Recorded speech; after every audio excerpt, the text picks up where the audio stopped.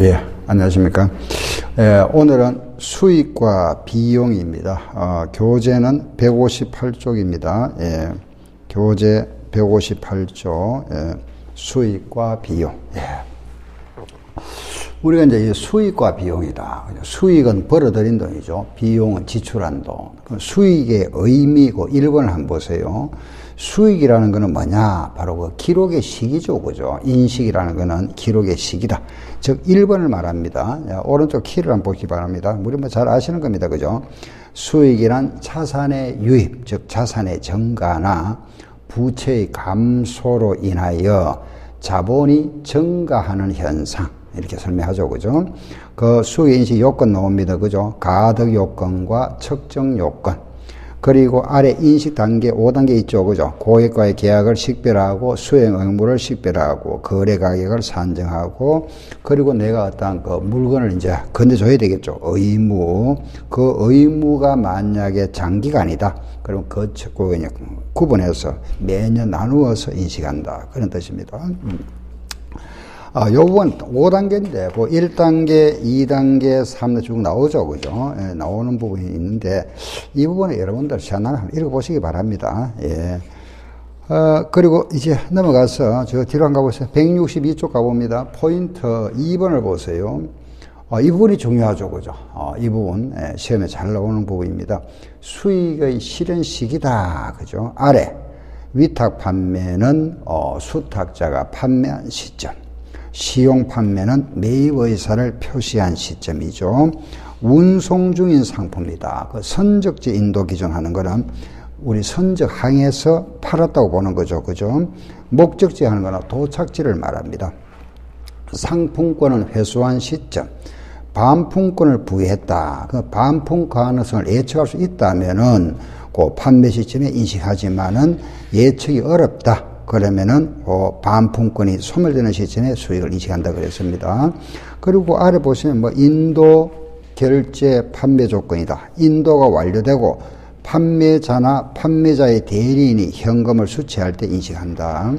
완납인도 예약 판매죠. 대금이 완납되고 재화를 인도하는 시점에 수익을 인식하고 미인도 청구 판매다.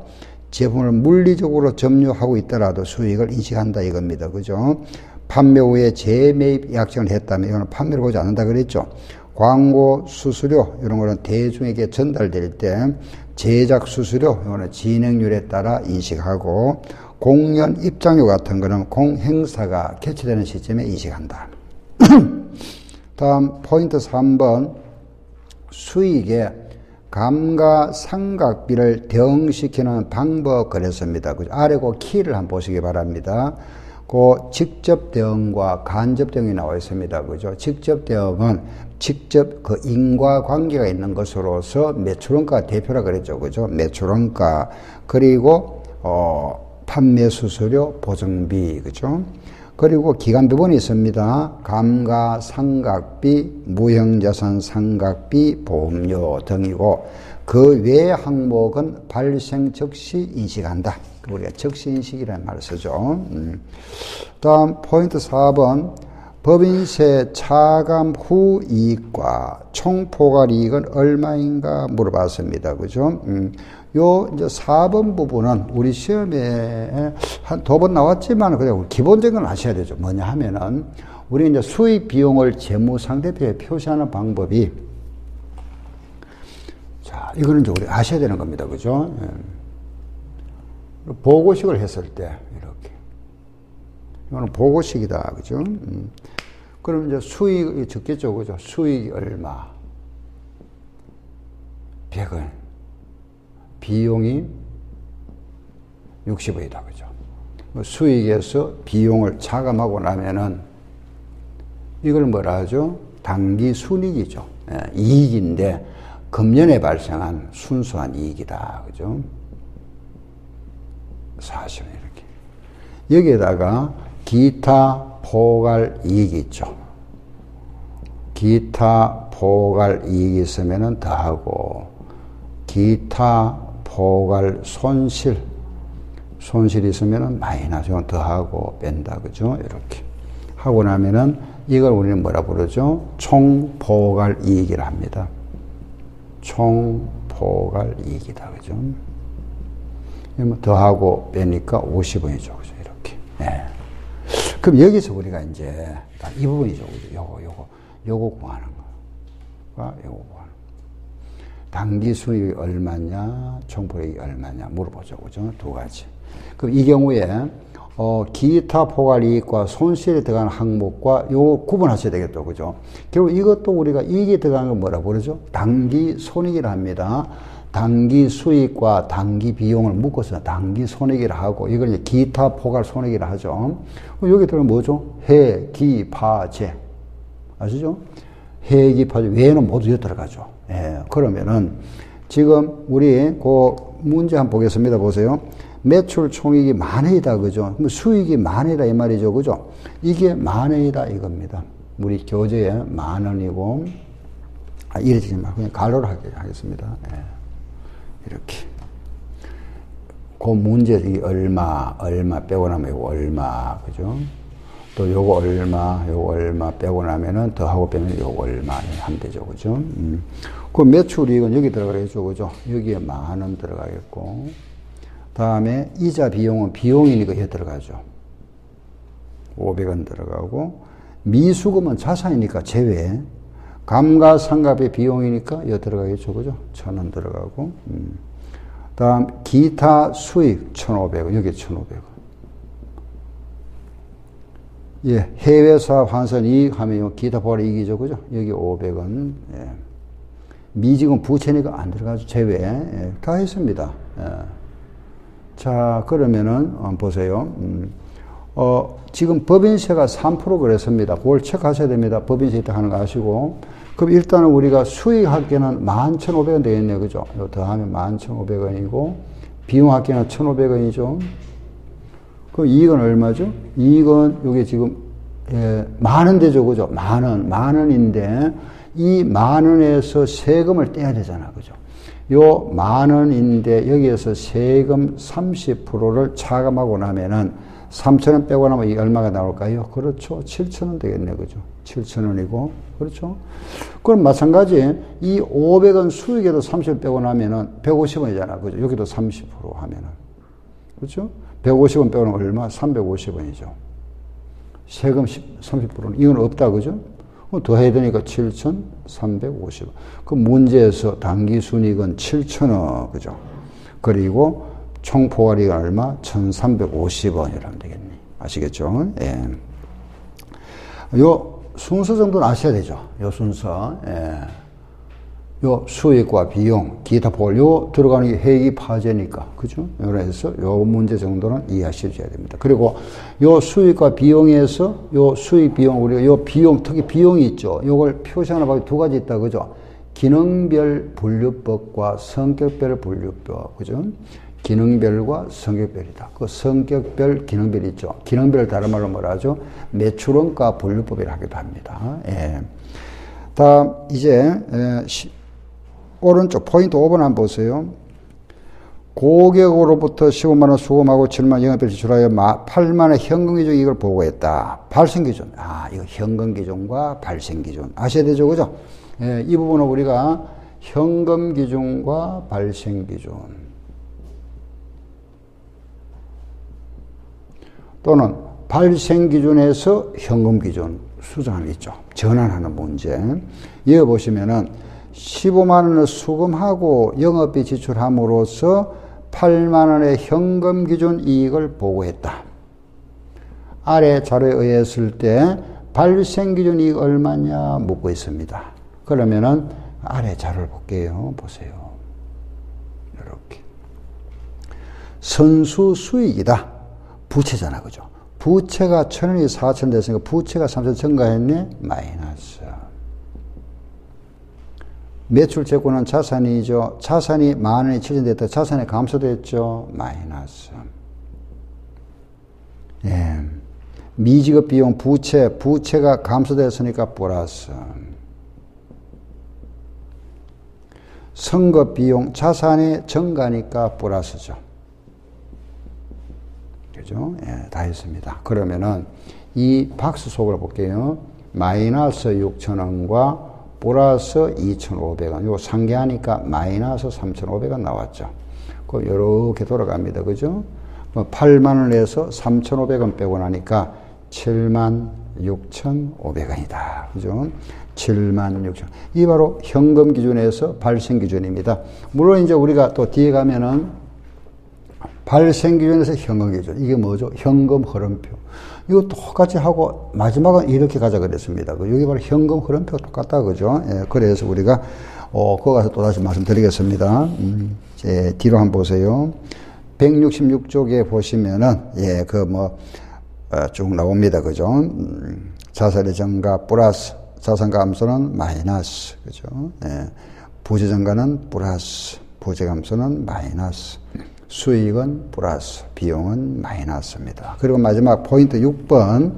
그 6번에 보면은 바로 뭐죠? 공사 이익 구하는 겁니다. 그죠? 자, 바로 하겠습니다. 예, 이거는 누적이 되어 있다. 그죠? 그러면 1년도에 우리가 이익을 구해 보겠습니다. 도급 금액은 만 원입니다. 그죠? 그러면은 공사 1년도, 음, 그만 원에서 예상 그 공사비가 8천 원이니까 빼고 나면 2천 원이죠. 2천원 곱하기 총공사비분의 실제, 그죠?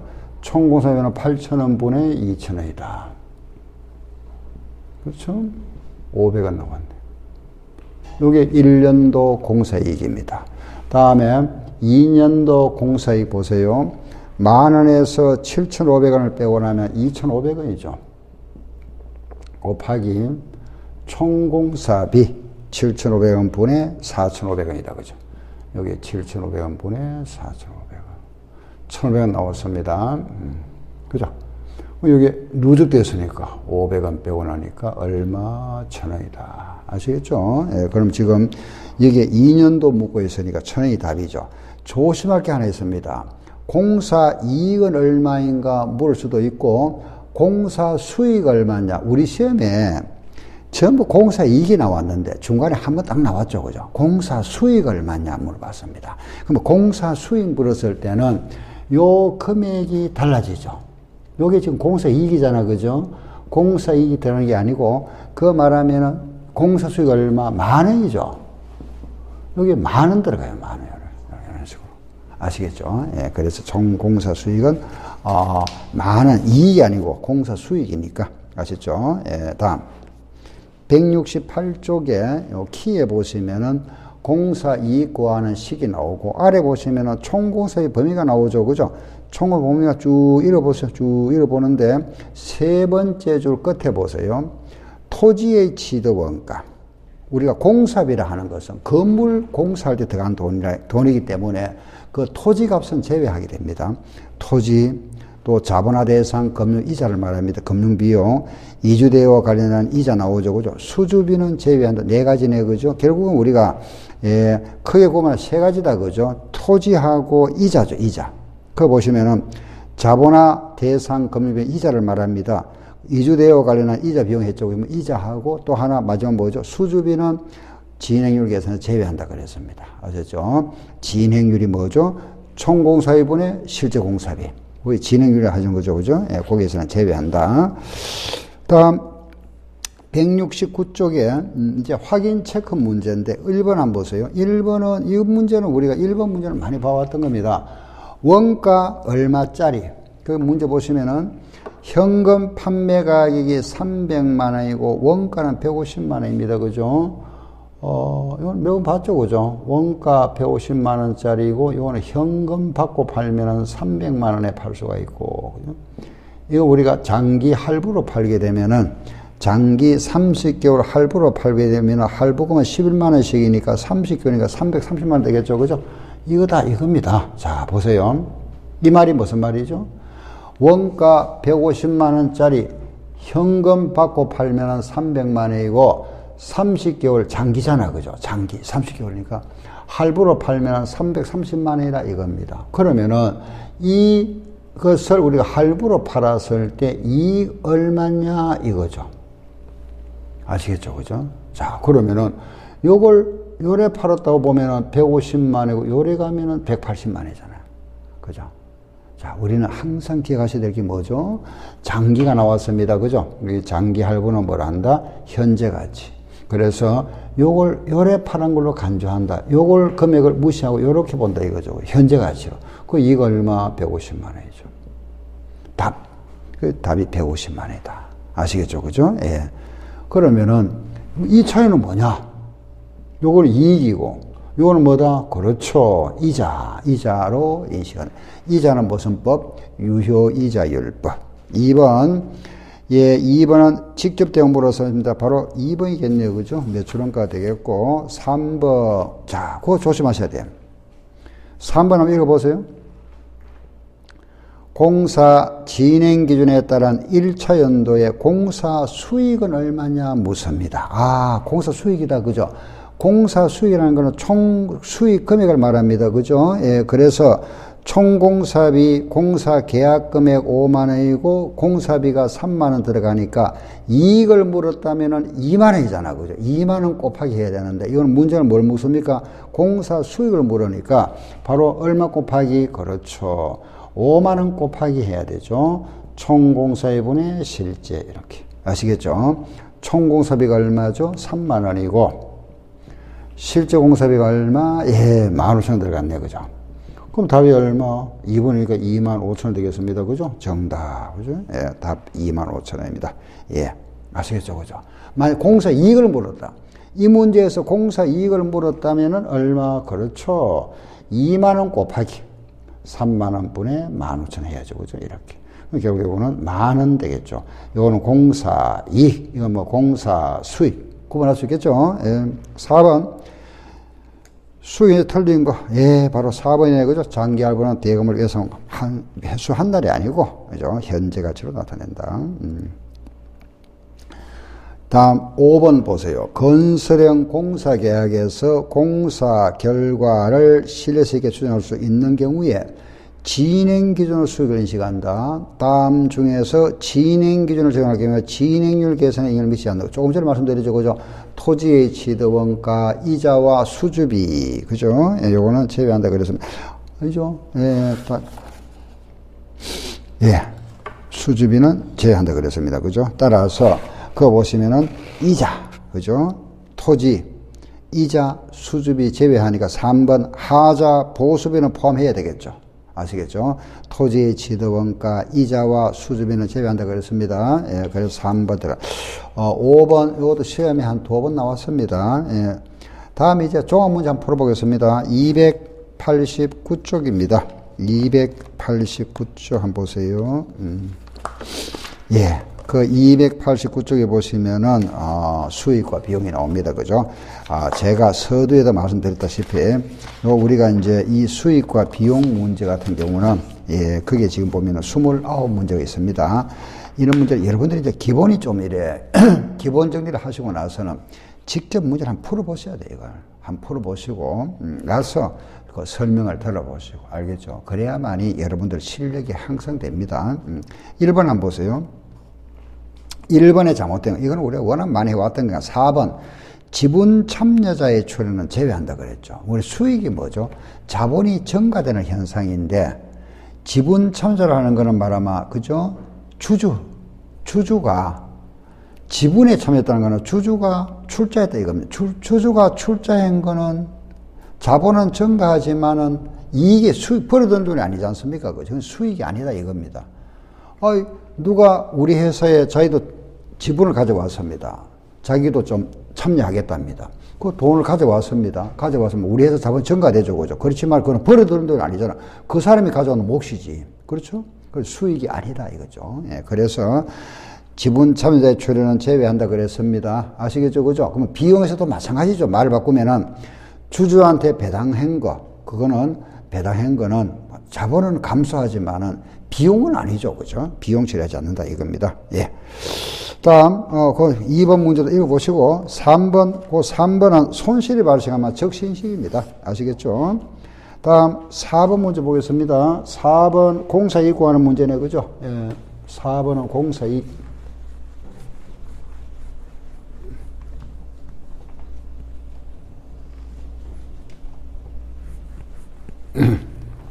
그 4번은 공사이익인데 조심하셔야 됩니다. 그죠? 1년도와 2년도. 자, 우리 항상 공사에 구할 때는 조심할 게 뭡니까?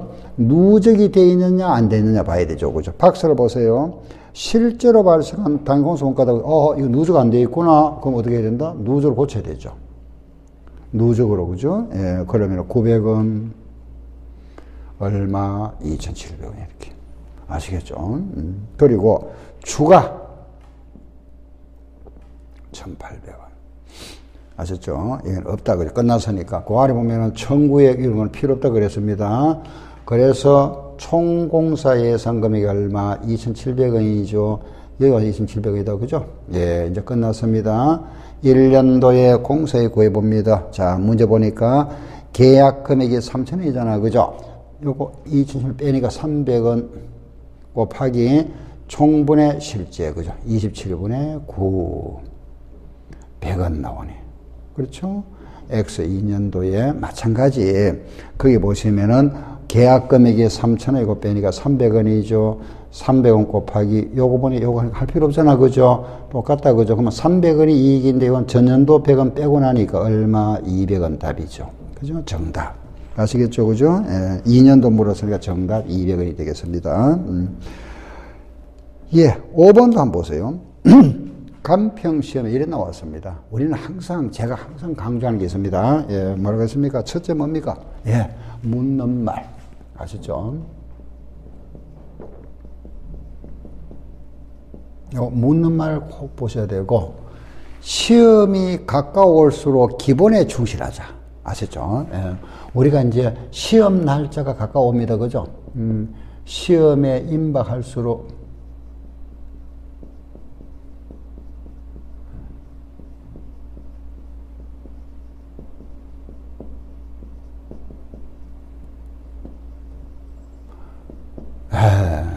근데 어떤 분은 시험에 임박하면 막 그때서 어려운 문제 풀어보실라 해라는데 내 능력을 하셔야 돼요. 아셨죠? 평소에 여러분들이 해왔던, 해왔던 걸 가지고 문제, 그 수준에서 문제를 풀고 그걸 안 틀려야만이 시험에 합격하는 거지. 시험에 임박하는데 지금 막 어려운 문제 풀고 이러다 보면 오히려 더 헷갈리죠. 그죠? 힘, 그것도 받아들이기도 힘들고. 이 회계원리는 우리가 제가, 어, 항상 강조했습니다만은 천천히 하나하나, 예, 차근차근, 그 우리 학원 스케줄대로, 스케줄대로, 그죠? 어, 이렇게 하나하나 이렇게 오셔야 되는 거지. 어느 날 갑자기 한다 해서 이 회계 원리는 풀 수가 없습니다. 그래서 여러분들은 이제 그동안 쌓아왔잖아, 그죠? 기본 과정도 거쳐왔고, 그리고 이제, 어, 또 심화 과정이라든가, 또 우리가 이제 말하면 요약, 그죠? 요약 강의도 해드렸고, 또 기출문제 강의도 해드렸죠. 그죠? 그래 쭉 해오다가 지금 문제풀이 하고 있습니다. 계속 반복되어 왔잖아. 그죠? 물론 문제는 다릅니다. 다음 때 왔었고. 그리고 이제 우리가 지금 시험에 이제 임박이 옵니다. 그러면 요 기본에 충실하셔야 돼요. 아시겠죠? 그죠? 다시 한번 돌아보고. 어. 자, 다음 문제 보겠습니다. 5번 문제 한번 보세요. 예.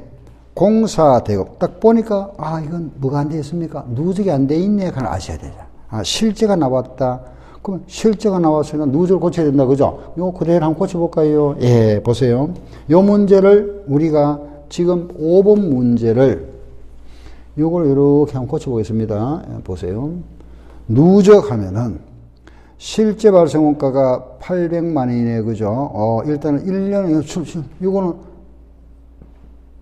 1년 돈이니까 누적이 없지 않습니까? 그죠? 공사 계약금이 3천만 원이다. 3천만 원이고 추가 발생 예상금이 2,300만 원이다. 그러면 총 공사비가 얼마? 3,100만 원이겠네요. 그죠? 자, 지금 문제 뭘 묻습니까? 공사 이익이나 손실 물어서 손익이라 했으니까 이익이나 손실이죠. 그죠? 자, 그러면은 3천만 원과 딱 보면 뭐죠? 마이너스 100만 원이네? 이거는 뭐죠? 적신식, 정답. 답이죠? 1번 답. 아셨죠? 예. 다음 6번 문제. 예약 판매의 경우에는, 예, 예약 시 판매 관련 불화성의 대원이 해결되기 때문에 예약 시에 수행한다 그러죠. 예약 판매는 뭐죠? 진행 기준입니다. 그죠? 위탁 판매는 수탁자가 매출했을 때, 팔았을 때죠. 틀렸습니다. 시용 판매는 그죠? 네이버에서 표시했을 때고, 장기 건설 공사, 그죠? 건설 공사는, 어, 진행 기준에 따라 인식한다. 하루 판매는 장당이 구분 없이 인도 기준에 의하고 중소기업인 경우에 특례에 의해서 해수기업이 도래한 날에 실현될 수 있다. 그랬습니다. 7번 문제. 어, 마찬가지, 그죠? 이거는 현금 기준과 발생 기준이죠. 그죠? 예, 7번은 현금 기준과 발생 기준 문제다. 그렇죠? 문제 너무 쉬우니까, 그죠? 현금 기준에 의한 이익은 120만 원이고, 발생 기준이 얼마냐 묻고 있습니다. 자, 그러면 이제 주어진 자료에서, 예, 매출 채권이라는 차산, 차산이 감, 사, 연도를 보셔야 됩니다. 날짜. 감소됐죠, 그죠? 10만원 감소됐다, 마이너스 10만원. 선거 비용 자산입니다. 증가됐죠, 3만원 증가. 선수금 부채가 증가됐습니다, 마이너스. 미지금 부채가 감소됐으니까 뭐죠? 플러스죠. 박수, 마이너스 14만원. 플러스 8만원. 그죠? 마이너스 6만원. 120만원에서 넘으면 되죠. 114만원 정답. 아셨죠? 예. 예. 다음에, 예. 8번 문제. 똑같은 문제니까 8번, 9번 해보시기 바랍니다. 10번은 우리가 진행 기준에 대한 겁니다. 그거 보면은 가, 측, 수익을 측정할 수 있어야 되고, 효익의 유익 가능성이 높아야 하고, 보기한 말의 진행률을 측정할 수 있어야 되고, 그리고 원가를 측정해야 됩니다. 다 포함되겠습니다. 음, 11번. 광고 선전비나 급료 등과 같은 원가는 발생하는 기간에 전액 비용을 인식한다. 이론적 근거로서 타당하지 않은 거 그랬죠. 미래 광고비 같은 거는 우리가 적신식하는 이유가 뭐냐 이겁니다. 우리가 보세요. 직접 대응이 있잖아. 그죠? 직접 인과관계 있는 거 하고 그다음 기간 배분이 있죠. 체계적이고 합리 기간 병역을 감가상각비용 매출원가입니다. 그죠? 이런 거 아닌 거는 뭐죠? 적신식. 비용을 바로 기록한다 이 말. 이런 거 아닌 게 바로 이거잖아. 그죠? 이렇게. 그 요거 요 이유를 묻고 있습니다. 이런 거 아닌 거 그죠? 미래 효익이 확실히 존재할지 불분명하여 자산선 인정하기 어렵다. 맞죠? 이들 원가로 인하여 기간별 효익 크기를 우리가 구분하기가 곤란하다. 맞습니다. 여러 기간에 걸쳐 원가를 배분하더라도 효익이 없다. 맞죠? 그죠? 여러 기간에 걸쳐 원가를 배분하기 위한 논리적 배분을 찾기도 어렵다. 비용으로 즉시 인식할 때 법인세 절감액이 원가 배분식보다 크기 때문이다. 이건 아니죠. 그죠? 그래서 우리가 즉신식 하는 게 아니고, 요런 직접 대응의 어떤 원인도 알 수가 없고, 배분의 어떤 이유도 알 수 없기 때문에 즉신식 하는 거지. 또 기간 배분해야 효익을 어떤 분배도 하기가 힘들고, 그 논리적 근거도 없다. 이런 뜻입니다. 음, 12번 바로 답이 나오네. 그죠? 4번입니다. 그죠? 13번도 여러분 읽어보시면 다 답이 바로 보입니다. 예, 넘어가겠습니다. 14번. 좀 전에 했죠, 그죠? 에어컨을 팔았는데, 예, 원가 100만 원짜리입니다. 원가는 100만 원이고, 그죠? 현금 판매 가격은 180만 원이고, 그리고 이걸 할부로 팔게 되면은 24개월 할부죠, 그죠? 24개월 할부는 얼마씩? 10만 원씩은 240만 원입니다. 이익 얼마냐? 못 씁니다. 뭐라 그랬죠? 요거. 죄송합니다. 할부는 현재 가치니까 이 금액을 무시하고 요래 파는 걸 본다. 그러면 이익 얼마? 80만 원. 요거 뭐라 그랬습니까? 이자. 요거는 이자, 이자. 알았죠? 80만 원이 정답이다. 예. 결산 15호입니다. 이익이 5만 원 있었는데 이 잘못됐다 그죠? 수정 후 정확한 이익 얼마냐 묻고 있습니다. 선수 수익을 과소했다. 부채를 적게 했다면서. 생각해 보세요. 부채를 적게 했으면 부채는 빼야 되죠. 빼는 걸 적게 뺐으면 더 빼야 되죠. 그죠? 마이너스. 미적비용 부채를 과대했다는 거는 뺄 걸 많이 뺐으니까 더 해야 되죠. 그냥 항상 자산은 더하고 부채는 뺀다 생각하시면 되잖아. 그죠? 선급비용은 저산 더 해야 되죠. 더 해야 되는데 과대 많이 더했다. 그럼 빼야 되겠네. 미술 자산을 적겠으니까 더해야 되죠. 그죠? 이렇게. 끝. 이렇게. 5만에서 빼고 더하고 빼고 되면 5만 2천 원 되겠습니다. 그죠? 예, 16번. 수익은 실현주의, 비용은 발생주의입니다. 그죠? 발생주의와 관계있는 거. 자, 기억해 버리세요. 수익, 비용, 대응의 원칙. 17번. 18번. 그다 보시면 되겠고 19번 요 문제는 시험에 나온 적은 없습니다. 예, 뭐냐 하면은 퇴직급여죠, 그죠? 퇴직급여 부채가 700만 원이고 단기원가 250만 원입니다. 예, 이때 어, 할인율 10% 했을 때 손익계산서 인식할 비용 얼마냐? 그 손익 단기에 들어간 걸 인식해야 돼. 250만 원 이걸 인식해야 되겠죠. 그죠? 그런데 앞으로 나갈 급여 700만 원에 할인율 10%면 70만 원. 그게 바로 이자 되겠죠. 그죠? 따라서 250만 원 플러스 70만 원이니까 320만 원 포함해야 됩니다. 3번 정답. 20번 상품권입니다. 그죠? 100만 원짜리 우리가 할인해서 90만 원 팔았다 그랬습니다. 그러면 장, 장부에 들어오고 돈은 현금 들어오겠죠. 그죠? 현금 95만 원 할인료 할인권, 상품, 선수금이니까 장부에 적을 때는 선수금에다가 할인권 빼고 5만원 빼니까 정답 2번이 되겠습니다. 예, 다음 21번. 우리 공, 건설공사 할 때 공사대금 청구액은 제외되죠. 회수액도 제외되고 공사권 들어가야 되겠죠. 그죠? 예, 당연히 포함됩니다. 예. 그럼 이제 22번, 23번 똑같은 문제입니다. 그죠? 22번, 23번 똑같은 문제인데 22번을 한번 풀어볼까요? 똑같은 문제입니다. 자, 보세요. 22번. 예. 그러면은 지금 1년도와 2년도의 공소액 무섭니다. 그죠? 그 1년도 해보겠습니다. 보세요.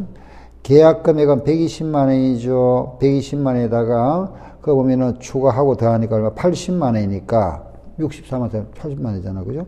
40만 원 이익이죠. 왜 40만 원 나온지 아시겠죠? 그죠? 곱하기 총 공사의 분에 총 80만 원 분에 16만 원 되겠습니다. 그죠? 이렇게. 얼마? 8만 원이죠. 2년도 공사에 구합니다. 2년도 보니까 120만 원 구하면 30만 원이죠. 30만 원 곱하기. 총 공사비가 90만 원 분에 45만 원이다. 그죠? 이거 2분의 1이잖아. 그죠? 그러면 15만 원이고. 여기에서 이거 빼니까 전년도 빼야 되니까 얼마 7만 원 나오겠네요. 그죠? 정답. 8만 원과 7만 원입니다. 그죠? 예. 다음 24번 문제. 24번과 25도 같은 문제죠. 그죠? 24번과 25번 똑같은 문제인데 예. 24번 한번 보세요. 원가 73만 5천 원짜리를 예. 105만 원에 팔았답니다. 105만 원에 그죠? 예. 그런데 이 105만 원 돈 어떻게 하느냐?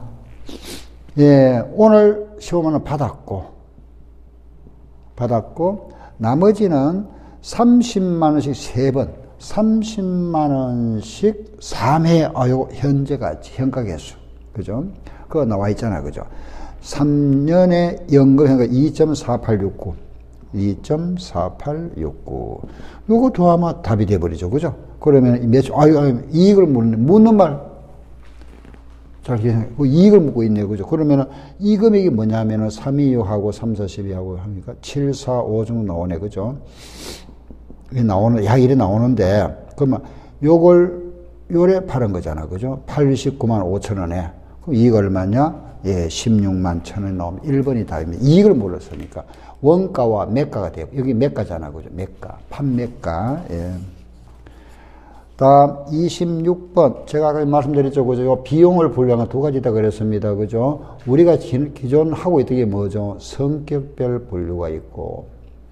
여기 이제 묶음별이라 그랬습니다만 쉽게 기능별 분류를 한다. 요걸 다른 말로 우리가 매출원가 분류를 한다 그랬죠. 그죠? 두 가지 있다. 하는 걸 기억하셔야 되고. 음. 그러면은 두 가지 있다. 1번 맞죠? 그죠? 2번. 성격별은 어, 매입액 종업원 월 급여 감가상각비 등등이고 기능비는 매출원가 들어가야 됩니다. 그죠? 매출원가와 물류비, 관리비 등등. 성격비를 의할 때 매출액에서 매출원가를 뺀다 그래. 매출원가 나오면 무슨 분류죠? 기능별. 아시겠죠? 그죠? 여기 매출원가 분류법이라 하기도 합니다. 그죠? 잘못됐네요. 그죠? 기능별일 때는 반드시 매출원가를 분리하여 표시한다 그랬고 다음 27번 문제입니다.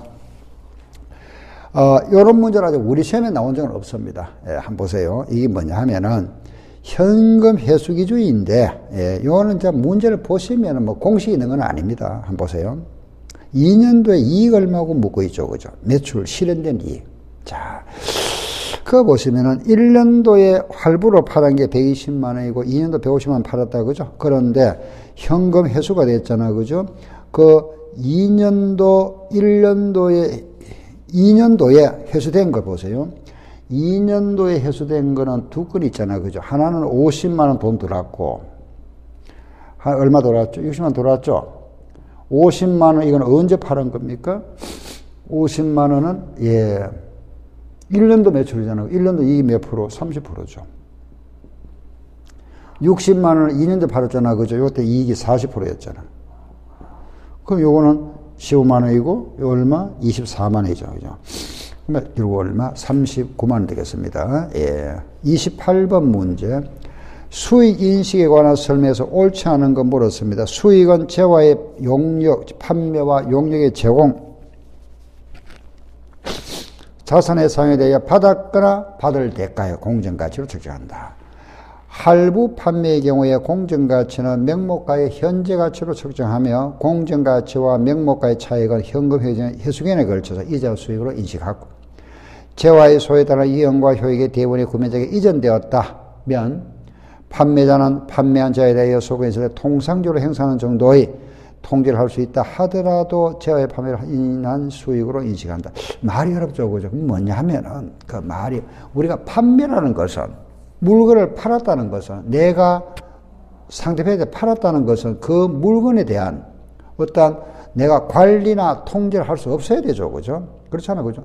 모든 말하면 권리와 의무가 다 넘어가는 걸 그걸 판매라 보는 겁니다. 그런데 3번에 보시면은 두 번째 줄에 보시면은 통상적으로 행사하는 정도의 통제를 할 수 있다.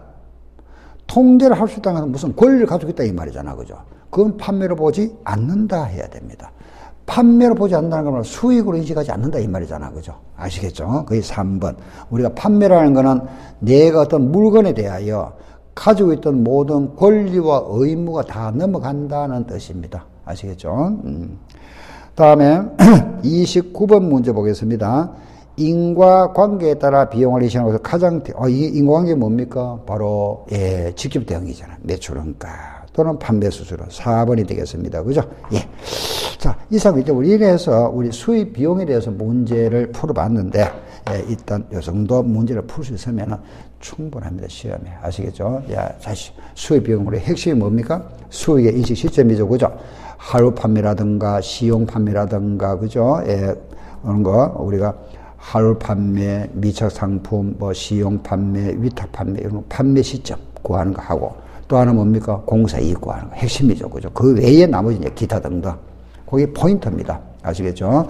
그럼 이제 다음 시간에는 이제 회계 변경과 오류 수정에 대해서 말씀드리겠습니다. 예.